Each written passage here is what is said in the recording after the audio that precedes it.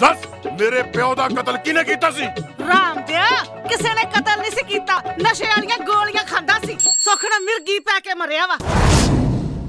Radio spice ਸੁਣ ਰਹੇ ਸਾਰੇ ਹੀ ਸਰੋਤਿਆਂ ਨੂੰ ਮੇਰੇ ਵੱਲੋਂ ਯਾਨੀ ਕਿ ਸਰਕਾਰੀ ਗਾਖਲ ਦੇ ਵੱਲੋਂ ਪਿਆਰ ਭਰੀ ਸਤਿ ਸ਼੍ਰੀ ਅਕਾਲ। ਇਸ ਵਾਰ ਪ੍ਰੋਗਰਾਮ ਇੱਕ ਮੁਲਾਕਾਤ ਦੇ ਵਿੱਚ ਜਿਹਨਾਂ ਸੈਲੀਬ੍ਰਿਟੀ ਦੇ ਨਾਲ ਆਪਾਂ ਗੱਲਬਾਤ ਕਰਨ ਜਾ ਰਹੇ ਹਾਂ ਜੀ ਮੈਂ ਸੀਰੀਅਸਲੀ ਇਹਨਾਂ ਦਾ ਬਹੁਤ ਵੱਡਾ ਫੈਨ ਆ ਇਸ ਟਾਈਮ ਪੰਜਾਬੀ ਇੰਡਸਟਰੀ ਦੇ ਵਿੱਚ ਪੂਰੇ ਛਾਏ ਹੋਏ ਨੇ। ਪੰਜਾਬੀ ਫਿਲਮਾਂ ਮੈਂ ਜੇ ਕਹਾਂ ਕਿ ਜੇ ਕੋਈ ਪੰਜਾਬੀ ਫਿਲਮਾਂ ਚਲਾਉਣ ਵਾਲਾ ਤਾਂ ਉਹ ਇਹ ਨੇ ਜੀ। ਨਾਮ ਹੈ ਇਹਨਾਂ ਦਾ ਅਨੀਤਾ ਦੇਵਗਨ ਜੀ। ਸਤਿ ਸ਼੍ਰੀ ਅਕਾਲ ਮੈਮ, ਕੀ ਹਾਲ ਚਾਲ ਜੀ? ਸਤਿ ਸ਼੍ਰੀ ਅਕਾਲ ਜੀ, ਰੇਡੀਓ ਸਪਾਈਸ ਦੇ ਉੱਤੇ ਤੁਸੀਂ ਅੱਜ ਮੈਨੂੰ ਮੌਕਾ ਦਿੱਤਾ ਮੇਰੇ ਸਰੋਤਿਆਂ ਦੇ ਨਾਲ ਗੱਲ ਕਰਨ ਲਈ। ਬੜੀ ਅਜੀਬ ਕੰਟਰਾਸਟ ਹੈ ਕਿ ਰੇਡੀਓ ਸਪਾਈਸ ਆ ਤੇ ਗੱਲ ਕਰ ਰਹੇ ਹੋ ਤੁਸੀਂ ਇਸ ਦੁਨੀਆ ਦੀ ਸਭ ਤੋਂ ਮਿੱਠੀ ਔਰਤ ਦੇ ਨਾਲ। ਸੋ ਮੇਰੇ ਵੱਲੋਂ ਸਤਿ ਸ਼੍ਰੀ ਅਕਾਲ ਜੀ ਸਾਰਿਆਂ ਨੂੰ। ਜੀ ਦੇਖੋ ਕਿੰਨਾ ਸਾਨੂੰ ਕਿੰਨਾ ਸੋਚ ਕੇ ਹਨਾ? ਅਸੀਂ ਪਹਿਲਾਂ ਇੱਕ ਸਪਾਈਸ ਰੇਡੀਓ ਦੇ ਇਦਾਂ ਫਿਰ ਅਸੀਂ ਆਪ ਹੀ ਇਦਾਂ ਰੱਖਿਆ ਜੀ ਕੌਣ ਕਿਹੜਾ ਕੀ ਕਹਿੰਦੇ ਨੇ ਦੋਨਾਂ ਦਾ ਕੰਬੀਨੇਸ਼ਨ ਇਦਾਂ ਦਾ ਰੱਖਿਆ ਜੀ।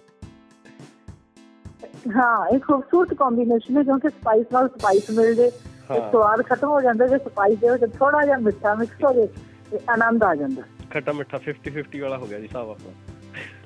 ਹਾਂ ਬਿਲਕੁਲ ਬਿਲਕੁਲ।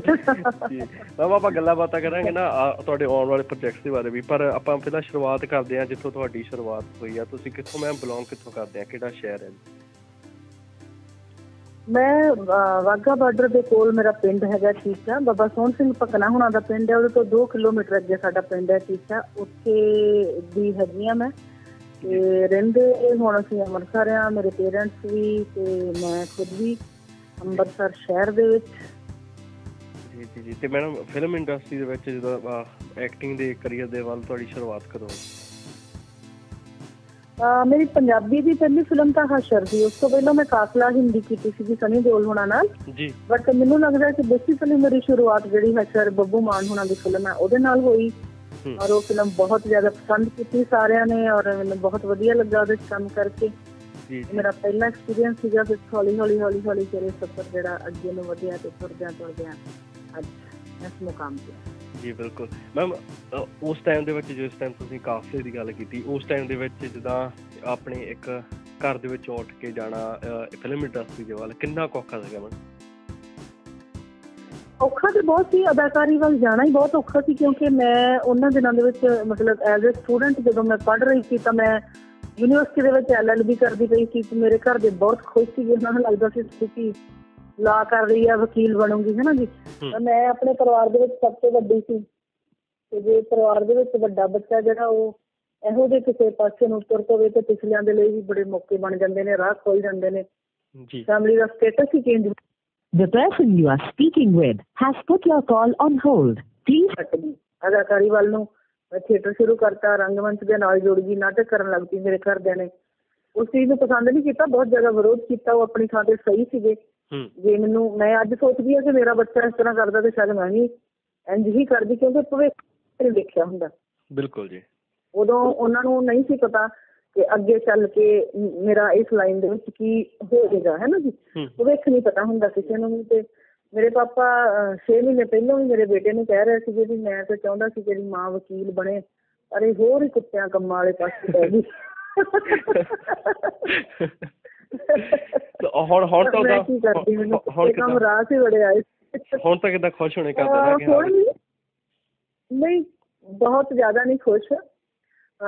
ਪਰ ਫਿਰ ਵੀ ਠੀਕ ਹੈ ਜੀ। ਮੈਂ ਖੁਸ਼ ਹਾਂ। ਮੈਂ ਸੱਚੀ ਨਹੀਂ ਖੁਸ਼। ਨਹੀਂ ਨਹੀਂ। ਤੋ- ਨਹੀਂ ਬਹੁਤ ਵਧੀਆ ਮੈਂ ਜਿੱਦਾਂ ਤੁਹਾਡੇ ਵੱਲ ਦੇਖ ਕੇ ਕਾਫੀ ਲੋਕ ਵੀ ਜਿੱਦਾਂ ਪ੍ਰਭਾਵਿਤ ਹੁੰਦੇ ਨਾ ਕਿ ਹਾਂ ਬਈ ਜਿਹੜੇ ਲੋਕ ਪਹਿਲਾਂ ਪਹਿਲੇ ਪਹਿਲੇ ਸਮੇਂ ਦੇ ਵਿੱਚ ਕੁਝ ਕਰਨਾ ਚਾਹੁੰਦੇ ਸੀ ਉਹ ਛੱਡ ਗਏ ਸੀਗੇ ਤਾਂ ਉਹ ਤੁਹਾਡੇ ਵੱਲ ਦੇਖ ਕੇ ਫਿਰ ਹਨਾ ਪ੍ਰਭਾਵਿਤ ਹੁੰਦੇ ਕਿ ਨਹੀਂ ਫਿਰ ਆਪਾਂ ਨੂੰ ਜਿਹੜੀ ਇਸ ਚੀਜ਼ ਐਕਟਿੰਗ ਜਿਹੜੀ ਆ ਸ਼ੁਰੂਆਤ ਕਰ ਲੈਣੀ ਚਾਹੀਦੀ ਆ। ਤੇ ਮੈਮ ਫਿਰ ਤੁਹਾਡੇ ਜਿਹੜਾ ਹਸ਼ਰ ਤੋਂ ਬਾਅਦ ਤੁਹਾਡੀਆਂ ਫਿਲਮਾਂ ਦਾ ਜਿਹੜਾ ਸਿਲਸਿਲਾ ਚੱਲਦਾ ਹੀ ਗਿਆ ਹਨਾ। ਤੇ ਸਭ ਤੋਂ ਹੁਣ ਤੱਕ ਦੀ ਸਭ ਤੋਂ ਵਧੀਆ ਤੁਹਾਨੂੰ ਮੂਵੀ ਕਿਹੜੀ ਲੱਗਦੀ ਜਿਹੜੀ ਤੁਸੀਂ ਕੀਤੀ ਹੋਵੇ? ਮੇਰੀ ਹਰ ਉਹ ਫਿਲਮ ਮੈਨੂੰ ਵਧੀਆ ਲੱਗਦੀ ਜਿਹੜੀ ਤੁਸੀਂ ਸਾਰਿਆਂ ਨੇ ਬਹੁਤ ਪਸੰਦ ਕੀਤੀ। ਪਰ ਜਿਹੜੀਆਂ ਫਿਲਮਾਂ ਕੁਝ ਥੋੜੇ ਜਿਹੇ ਵੱਖਰੇ ਰੰਗ ਵਾਲੀਆਂ ਰਹੀਆਂ ਉਹ ਬਹੁਤ ਅੱਛੀਆਂ ਰਹੀਆਂ ਸਾਰੀਆਂ ਬੜੀਆਂ ਅੱਛੀਆਂ ਲੱਗਦੀਆਂ ਰਹੀਆਂ। ਜੱਟ ਐਂਡ ਜੂਲੀਅਟ ਨੇ ਮੈਨੂੰ ਹਸ਼ਰ ਤੋਂ ਬਾਅਦ ਮਤਲਬ ਹਸ਼ਰ ਨੇ ਇੱਕ ਸ਼ੁਰੂਆਤ ਦਿੱਤੀ ਮੈਨੂੰ ਮੇਰੇ ਲਈ ਇੱਕ ਨਵਾਂ ਰਸਤਾ ਇੱਕ ਨਵੀਂ ਯਾਤਰਾ ਨਵਾਂ ਪੈਂਡਾ ਜਿਹੜਾ ਉਹ ਤੈਅ ਕੀਤਾ। ਉਧਰ ਨੇ ਤਾਂ ਮੈਂ ਉਸ ਪਿੰਡ ਤੇ ਤੁਰਨਾ ਸ਼ੁਰੂ ਕੀਤਾ। ਜੱਟ ਐਂਡ ਜੂਲੀਅਟ ਦੇ ਨਾਲ ਮੈਨੂੰ ਪਛਾਣ ਮਿਲੀ। ਤੇ ਅੰਗਰੇਜ਼ ਦੇ ਨਾਲ ਮੈਂ ਤੁਹਾਡੇ ਸਾਰਿਆਂ ਦੇ ਦਿਲਾਂ ਤੇ ਰਾਜ ਕਰਨ ਲੱਗੀ। ਬੰਬੂ ਘਾਟ ਤਿੰਨਾ ਮੇਰਾ ਮੰਜੇ ਰਿਸ਼ਤੇ ਰੱਬ ਦਾ ਰੇਡੀਓ ਇਹ ਉਹ ਫਿਲਮਾਂ ਨੇ ਜਿਨ੍ਹਾਂ ਨੇ ਮੇਰੇ ਕੈਰੀਅਰ ਨੂੰ ਬਹੁਤ ਬਹੁਤ ਵੱਡਾ ਬੂਸਟ ਅਪ ਦਿੱਤਾ। ਤੇ ਮੈਂ ਸੈਲੀਬ੍ਰਿਟੀ ਸਟੇਟਸ ਦੇ ਵਿੱਚ ਸ਼ਾਮਲ ਹੋਈ। ਸੋ ਵਧੀਆ ਲੱਗਦਾ ਜੀ ਅੱਜ ਇੰਨਾ ਜ਼ਿਆਦਾ ਪਿਆਰ ਸਾਰੀਆਂ ਥਾਵਾਂ ਤੋਂ ਮਿਲਦਾ ਔਰ ਮੇਰੇ ਲਈ ਬੜੇ ਵੱਖਰੇ ਵੱਖਰੇ ਕਿਰਦਾਰ ਵੀ ਸਿਨੇਮੇ ਦੇ ਵਿੱਚ ਹੁਣ ਡਾਇਰੈਕਟਰਸ ਜਿਹੜੇ ਨੇ ਉਹ ਸੋਚ ਰਹੇ ਨੇ ਆਉਣ ਵਾਲੀਆਂ ਫਿਲਮਾਂ ਵੀ ਕੁਝ ਨੇ। ਜਿਨ੍ਹਾਂ ਦੇ ਵਿੱਚ ਮੈਂ ਹੋਰ ਨਵੇਂ ਨਵੇਂ ਰੰਗਾਂ ਦੇ ਵਿੱਚ ਹਾਜ਼ਰ ਹੋਵਾਂਗੀ ਜਿਹੜੇ ਤੁਹਾਨੂੰ ਸਾਰਿਆਂ ਨੂੰ ਬਹੁਤ ਜ਼ਿਆਦਾ ਅੱਛੇ ਲੱਗਣਗੇ। ਵਾਹ ਜੀ ਵਾਹ। ਇਹ ਤਾਂ ਬੜਾ ਵਧੀਆ ਗੱਲ ਹੈ ਨਾ ਇੱਕ ਤਾਂ ਕਿ ਅਸੀਂ ਤੁਹਾਨੂੰ ਦੇਖਣਾ ਉਦੋਂ ਨਵੇਂ ਰੰਗਾਂ ਦੇ ਵਿੱਚ ਹੈ ਨਾ ਤੇ ਬਾਕੀ ਕਮੇਡੀ ਦਾ ਕਿਰਦਾਰ ਤਾਂ ਤੁਹਾਡਾ ਅਸੀਂ ਆਸ ਰੱਖਦੇ ਹਾਂ ਕਿ ਉਹ ਤਾਂ ਰਵੇ ਰਵੇ। ਪਰ ਮੈਡਮ ਜਿੱਦਾਂ ਹੁਣ ਤੁਸੀਂ ਇਹਨਾਂ ਮੂਵੀਆਂ ਦੇ ਵਿੱਚ ਇਦਾਂ ਕਮੇਡੀ ਕੀਤੀ ਹੈ ਨਾ ਕੀ ਤੁਹਾਡਾ ਸ਼ੁਰੂ ਤੋਂ ਇਦਾਂ ਸੀਗਾ ਕਿ ਹਾਂ ਵੀ ਮੈਂ ਐਜ਼ ਇਦਾਂ ਸਾਰਿਆਂ ਨੂੰ ਹਸਾਉਂਗੀ ਜਾਂ ਜਾਂ ਸੀਰੀਅਸ ਐਕਟਰ ਨਹੀਂ ਮੈਂ- ਜ਼ਿੰਦਗੀ 'ਚ ਬਹੁਤਾ ਕੁਝ ਮਿੱਥ ਕੇ ਕਦੀ ਤੁਰੀ ਨਹੀਂ ਕਿਉਂਕਿ ਜੋ ਕੁਝ ਵੀ ਮੈਂ ਮਿੱਥਿਆ ਉਹਦੇ ਲਈ ਮੈਨੂੰ ਸਟਰਗਲ ਬਹੁਤ ਕਰਨੀ ਪਈ ਸੀ। ਸੋ ਅਦਾਕਾਰੀ ਦੇ ਖੇਤਰ 'ਚ ਮੈਂ ਕਦੇ ਵੀ ਕੁਝ ਵੀ ਨਹੀਂ ਮਿੱਥਿਆ ਤੇ ਸ਼ਾਇਦ ਰੱਬ ਨੇ ਇੰਜ ਸੋਚਿਆ ਕਿ ਮੇਰੇ ਲਈ ਜੋ ਕੁਝ ਵੀ ਮੇਰੀ ਝੋਲੀ ਪੈਂਦਾ ਗਿਆ ਮੈਂ ਸਿਰਫ ਇਮਾਨਦਾਰੀ ਨਾਲ ਆਪਣਾ ਕੰਮ ਕੀਤਾ। ਐਜ਼ ਅ ਕਮੇਡੀਅਨ ਤਾਂ ਮੈਂ ਕਦੀ ਸੋਚਿਆ ਵੀ ਨਹੀਂ ਸੀ ਉਹ ਤਾਂ ਪਤਾ ਨਹੀਂ ਕਿਉਂ ਮਤਲਬ ਰੋਲ ਕਰਨ ਲੱਗਾ ਕਮੇਡੀ ਵਿੱਚ ਹੋ ਜਾਂਦੀ ਸੀ। ਮਤਲਬ ਇਹ ਮੈਂ ਤਾਂ ਮਤਲਬ theatre ਨੈਚੁਰਲੀ ਕੰਮ ਹੈ। ਨਾਟਕ ਕਰਦੀ ਸੀ। ਹਾਂਜੀ ਉਹ ਨੈਚੁਰਲ ਇੱਕ ਫਲੋ ਦੇ ਵਿੱਚ ਜਿਵੇਂ ਵੀ ਮੈਂ ਬੋਲਿਆ ਉਹ ਦਰਸ਼ਕਾਂ ਨੂੰ ਕਮੇਡੀ ਲੱਗੀ ਤੇ ਮੇਰੇ ਤੇ ਕਮੇਡੀ ਕੁਈਨ ਦਾ ਠੱਪਾ ਲੱਗ ਗਿਆ। ਜੀ। ਤੇ ਫਿਰ ਮੈਡਮ ਘਰੇ ਵੀ ਮਾਹੌਲ ਹੈ ਫਿਰ ਤਾਂ ਇਦਾਂ ਹੀ ਰਹਿੰਦਾ ਹੋਣਾ ਪੂਰਾ ਕਮੇਡੀ ਵਾਲਾ? ਬਸ ਜੀ ਹੀ ਚੱਲਦਾ ਰਹਿੰਦਾ ਦੋ ਅਦਾਕਾਰ ਜਿਸ ਘਰ ਦੇ ਵਿੱਚ ਹੋਣਗੇ ਤੇ ਉੱਥੇ ਤਾਂ ਫਿਰ ਇਹੋ ਕੁਝ ਹੀ ਆ ਨਾ ਕਦੀ ਹੱਸ ਕੇ ਕਦੀ ਇੱਕ ਦੂਸਰੇ ਨੂੰ ਟੌਂਚ ਕਰ ਲਿਆ ਕਦੀ ਇੱਕ ਦੂਸਰੇ ਨੂੰ ਬੂਸਟ ਅਪ ਕਰ ਲਿਆ ਬਹੁਤ ਕੁਝ ਬਹੁਤ ਸਾਰੀਆਂ ਸ਼ੇਡਸ ਨੇ ਜਿਹੜੀਆਂ ਜ਼ਿੰਦਗੀ ਦੀਆਂ ਉਹ ਸਾਡੀ ਅਸਲ ਜ਼ਿੰਦਗੀ ਦਾ ਵੀ ਹਿੱਸਾ ਨੇ। ਹੂੰ। ਔਰ ਅਦਾਕਾਰੀ ਜਿਹੜੀ ਉਹ ਬਹੁਤੀ ਜ਼ਿਆਦਾ ਘਰ ਦੇ ਵਿੱਚ ਤੇ ਨਹੀਂ ਕਰਦੇ ਅਸੀਂ ਬਟ ਜਦੋਂ ਕਰਨੀ ਪੈਂਦੀ ਹੈ ਉਦੋਂ ਕਰ ਵੀ ਲਈਦੀ। ਮਤਲਬ ਕਿਸੇ ਆਏ ਆਏ ਗਏ ਮੁੰਡੇ ਦਾ ਘਰਾਂ ਦੇ ਜਿੱਦਾਂ ਜਿੱਦਾਂ ਹੁੰਦਾ ਨਹੀਂ ਘਰਾਂ ਦੇ ਵਿੱਚ ਹੁੰਦਾ ਕੋਈ ਜਦੋਂ ਆ ਜਾਂਦਾ ਹੁੰਦਾ ਜਦੋਂ ਆਪਣੇ ਘਰਾਂ ਵਿੱਚ ਆਇਆ ਆਪਾਂ ਨਹੀਂ ਚਾਹੁੰਦੇ ਕਿ ਹਨਾ ਕਿ ਜ਼ਿਆਦਾ ਟਾਈਮ ਬੈਠੇ। ਫਿਰ ਉਦੋਂ ਅਦਾਕਾਰੀ ਉਦੋਂ ਤੁਹਾਡੀ ਕੰਮ ਆ ਜਾਂਦੀ ਹੋਣੀ ਨਾ ਨਹੀਂ ਇਸ ਤਰ੍ਹਾਂ ਨਹੀਂ ਹੁੰਦਾ। ਹੁਣ ਉਹ ਜੇ ਤਾਂ ਜ਼ਮਾਨੇ ਨਹੀਂ ਰਹੇ। ਹੁਣ ਤਾਂ ਜਦੋਂ ਵੀ ਕਿਸੇ ਨੇ ਆਉਣਾ ਹੁੰਦਾ ਕੋਸ਼ਿਸ਼ ਸਾਰੇ ਬੰਦੇ ਹੀ ਕਰਦੇ ਕਿ ਫੋਨ ਕਰਕੇ ਜਾਈਏ ਕਿਉਂਕਿ ਬਹੁਤੀ ਵਾਰੀ ਤਾਂ ਅਦਾਕਾਰਾਂ ਦਾ ਤਾਂ ਸਫ਼ਰ ਜ਼ਿੰਦਗੀ ਦੇ ਵਿੱਚ ਸਫ਼ਰ ਬਹੁਤ ਲਿਖਿਆ ਇਸ ਤੇ ਘਰਾਂ 'ਚ ਨਹੀਂ ਹੁੰਦੇ। ਇਹ ਵੀ ਗੱਲ ਸਹੀ out of home out of town ਹੋਈਦਾ ਤੇ ਇਸ ਕਰਕੇ ਜਿੰਨੇ ਬੰਦੇ ਨੇ ਆਉਣਾ ਉਹਨੂੰ ਹੁੰਦਾ ਕਿ ਜਦੋਂ ਵੀ ਫੋਨ ਕਰਕੇ ਜਦੋਂ ਵੀ ਮੈਂ ਘਰ ਹੋਵਾਂ ਜਾਂ ਮੇਰੇ ਹਸਬੰਡ ਨੂੰ ਮਿਲਣਾ ਘਰ ਹੋਣ ਤਾਂ ਉਦੋਂ ਹੀ ਆਉਂਦੇ ਨੇ। ਤਾਂ ਪਤਾ ਹੀ ਹੁੰਦਾ ਕਿ ਕਿੰਨੇ ਆਉਣਾ ਤੇ ਇਸ ਘਰ ਦੇ ਵਿੱਚ ਤੇ ਸਾਰਿਆਂ ਦਾ ਹੀ ਸਵਾਗਤ ਹੁੰਦਾ। ਅਸੀਂ ਤੇ ਜਿਸ ਦਿਨ ਕੋਈ ਨਾ ਆਵੇ ਉਸ ਦਿਨ ਲੱਗਦਾ ਅੱਜ ਕੁਝ ਮਿਸਿੰਗ ਆ ਅਹ, ਦਿਲ ਨਹੀਂ ਲੱਗਦਾ ਸੁੰਨਾ ਸੁੰਨਾ ਜਿਹਾ ਲੱਗਦਾ ਇਕੱਲੇ ਇਕੱਲੇ ਜਿਹਾ ਲੱਗਦਾ। ਸੋ ਮੇਰਾ ਘਰ ਇਹੋ ਜਿਹਾ ਜਿੱਥੇ ਇਸ ਕਲੋਨੀ ਦੇ ਵਿੱਚ ਸਭ ਤੋਂ ਵੱਧ ਪਰੌਣਿਆਂ ਦੀ ਆਮਦ ਹੁੰਦੀ ਹੈ ਔਰ ਮੈਨੂੰ ਬਹੁਤ ਵਧੀਆ ਲੱਗਦਾ।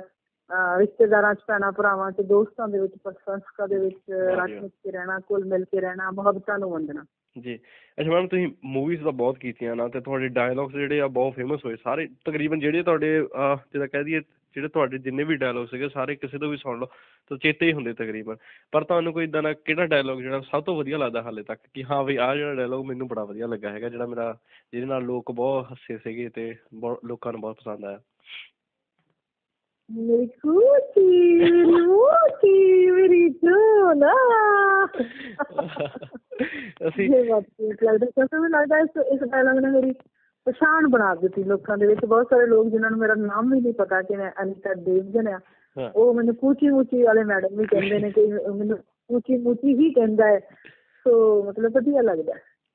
ਇਹ ਤਾਂ ਵਧੀਆ ਗੱਲ ਹੈ ਨਾ ਕਦੀ ਇਦਾਂ ਮੈਡਮ ਹੋਇਆ ਕਿ ਇਦਾਂ ਤੁਰੇ ਜਾਂਦੇ ਮੈਡਮ ਕੁਚੀ ਮੁਚੀ ਮੈਡਮ ਤੁਹਾਡਾ ਫੋਟੋ ਖਿਚਾਉਣੀ ਆ ਹਾਂ ਹਾਂ ਬਹੁਤ ਸਾਰੇ ਬਹੁਤ ਸਾਰੇ ਮੈਸੇਜ ਇਸ ਤਰ੍ਹਾਂ ਦੇ ਬਹੁਤ ਬਹੁਤ ਕੁਝ।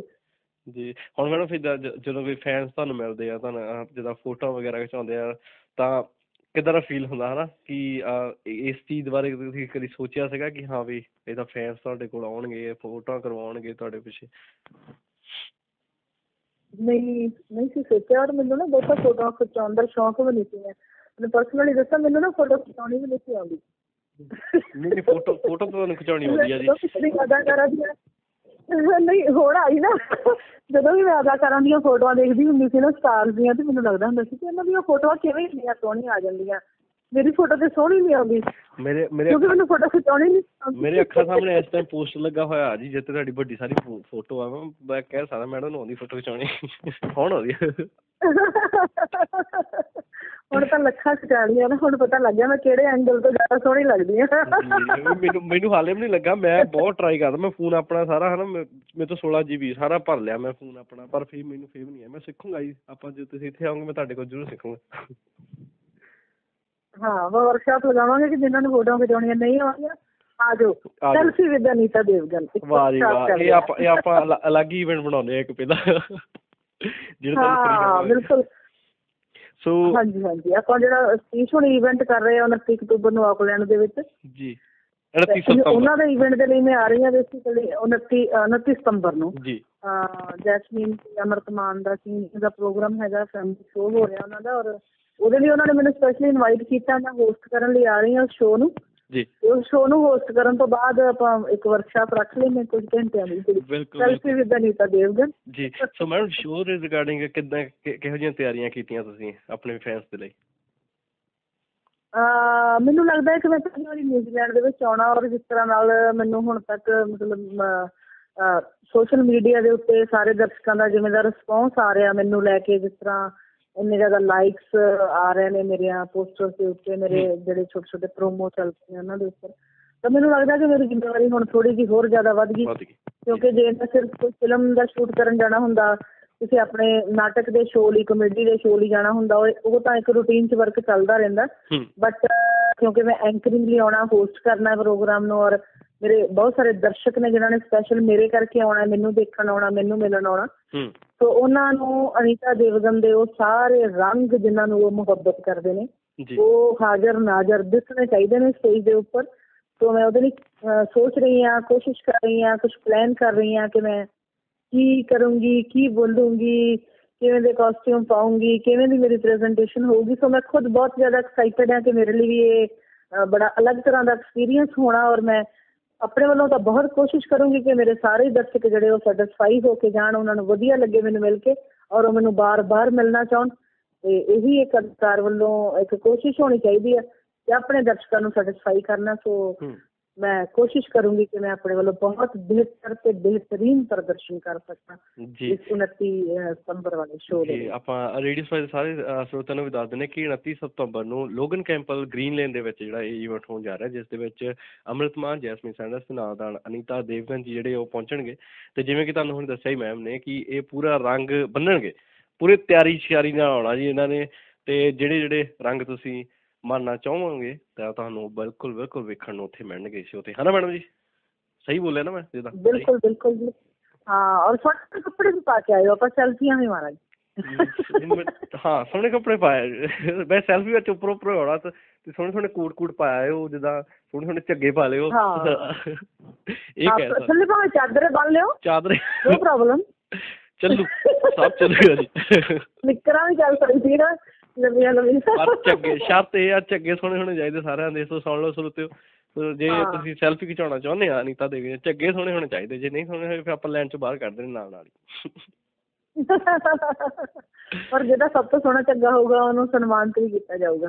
ਜੀ ਸਹੀ ਹੈ। ਮੈਂ ਅੱਜ ਹੀ ਜਾਣਾ ਮੈਂ ਜਾ ਕੇ ਅੱਜ ਲੈ ਕੇ ਆਉਣਾ ਝੱਗਾ। ਮੈਂ ਇਹ ਮੌਕਾ ਛੱਡਣਾ ਨਹੀਂ ਚਾਹੁੰਦਾ ਜੀ। ਨਹੀਂ ਨਹੀਂ ਤੁਸੀਂ ਥੋੜਾ ਬਿਜ਼ਨਸ ਕਰੋ ਨਾ ਤੁਸੀਂ ਕਿਸੇ ਕਾਸਟਿਊਮ ਡਿਜ਼ਾਈਨਰ ਨਾਲ ਗੱਲ ਕਰੋ ਉਹਨਾਂ ਨੂੰ ਕਹੋ ਜੀ ਤੁਸੀਂ ਝੱਗੇ ਰੈਡੀ ਕਰੋ ਸਪੈਸ਼ਲੀ ਸ਼ੋਅ ਦੇ ਨਾਲ।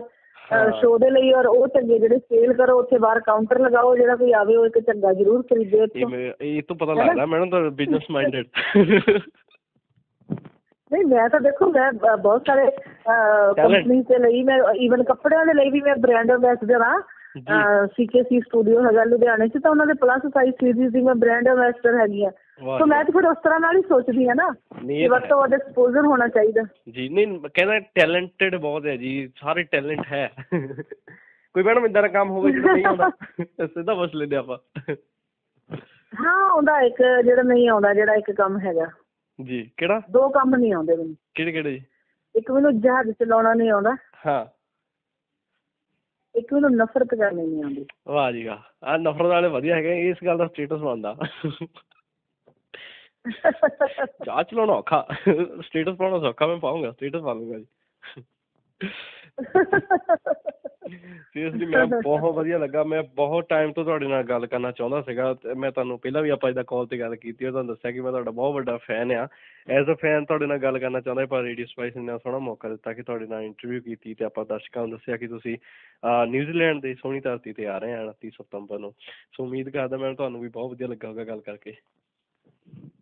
ਬਿਲਕੁਲ ਜੀ, ਮੈਂ ਰੇਡੀਓ ਸਪਾਈਸ ਦੀ ਸੁਖਰਾਜ ਜੀ ਤੁਹਾਡੀ ਬਹੁਤ ਜ਼ਿਆਦਾ ਧੰਨਵਾਦੀ ਹਾਂ ਕਿ ਤੁਸੀਂ ਮੈਨੂੰ ਮੌਕਾ ਦਿੱਤਾ ਹੈਗਾ ਮੈਂ ਨਿਊਜ਼ੀਲੈਂਡ ਦੇ ਆਪਣੇ ਦਰਸ਼ਕਾਂ ਦੇ ਨਾਲ, ਸਰੋਤਿਆਂ ਦੇ ਨਾਲ ਸਾਂਝ ਪਾ ਸਕੀ ਤੁਹਾਡੇ ਰੇਡੀਓ ਦੇ ਰਾਹੀਂ ਔਰ ਇਹਦੇ ਲਈ ਜ਼ਰੀਆ ਬਣੇ ਨੇ ਸਪੀਕ ਜਿਹੜੇ ਇਸ ਪ੍ਰੋਗਰਾਮ 29 ਤਰੀਕ ਨੂੰ ਆਰਗੇਨਾਈਜ਼ ਕਰ ਰਹੇ ਨੇ ਆਕਲੈਂਡ ਦੇ ਵਿੱਚ ਔਰ ਉਹਨਾਂ ਨੇ ਮੈਨੂੰ ਬੁਲਾਇਆ ਜੈਸਮੀਨ ਤੇ ਅਮਰਤਮਾਨ ਦੇ ਨਾਲ ਤਾਂ ਕਿ ਮੈਂ ਤੁਹਾਡੇ ਸਾਰਿਆਂ ਦੇ ਨਾਲ ਲਾਈਵ ਰੂਬਰੂ ਹੋ ਸਕਾਂ ਔਰ ਮੇਰੀ ਜ਼ਿੰਦਗੀ ਦਾ ਵੀ ਇਹ ਇੱਕ ਬਹੁਤ ਯਾਦਗਾਰੀ ਪਲ ਹੋਏਗਾ ਕਿਉਂਕਿ ਮੈਂ ਬਹੁਤ ਸਾਰੇ ਦੇਸ਼ਾਂ ਦੇ ਵਿੱਚ ਗਈ ਹਾਂ ਬਟ ਮੈਂ ਨਿਊਜ਼ੀਲੈਂਡ ਪਹਿਲੀ ਵਾਰੀ ਆਉਣਾ ਮੈਨੂੰ ਜਿੰਨੀ ਕੁ ਜਾਣਕਾਰੀ ਜਿੰਨਾ ਕੁ ਮੈਨੂੰ ਦੱਸਿਆ ਗਿਆ ਕਿ ਨਿਊਜ਼ੀਲੈਂਡ ਬਹੁਤ ਹੀ ਖੂਬਸੂਰਤ ਧਰਤੀ ਆ ਔਰ। ਸਾਡੇ ਬਹੁਤ ਸਾਰੇ ਪੰਜਾਬੀ ਨੇ ਇੱਥੇ ਜਿਹੜੇ ਪੰਜਾਬੀ ਸਿਨੇਮੇ ਨੂੰ ਕਲਚਰ ਨੂੰ ਸਾਨੂੰ ਬਹੁਤ ਜ਼ਿਆਦਾ ਪਿਆਰ ਕਰਦੇ ਨੇ।